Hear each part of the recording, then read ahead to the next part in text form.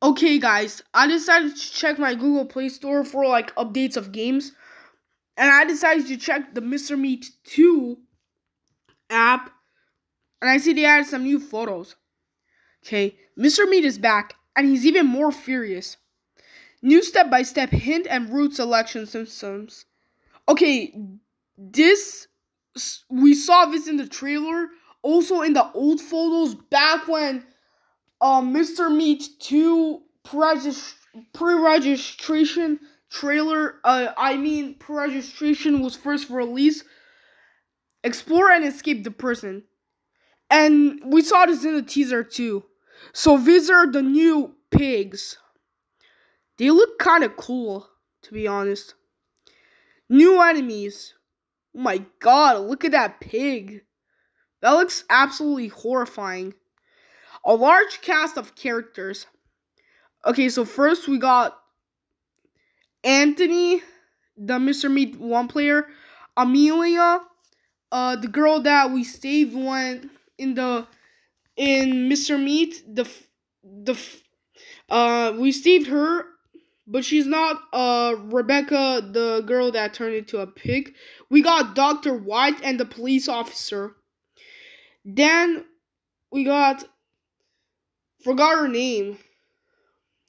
Um, her name is I don't know her name, but that's Rebecca's sister. And there we have Rebecca.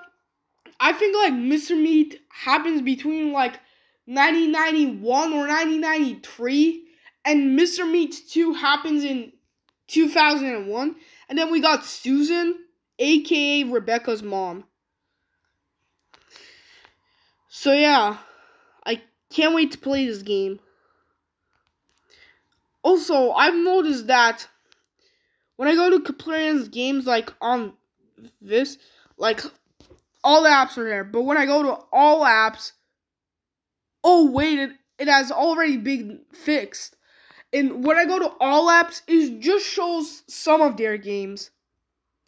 I'm surprised Evil Nun Maze isn't even removed.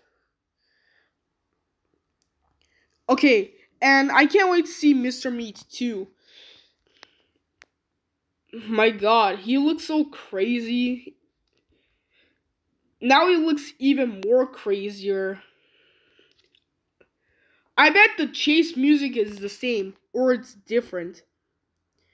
It kind of reminds me of Evil Nun 2, because, you know, like, it makes a sound when you complete the puzzle, and it almost has the same font as Evil Nun 2.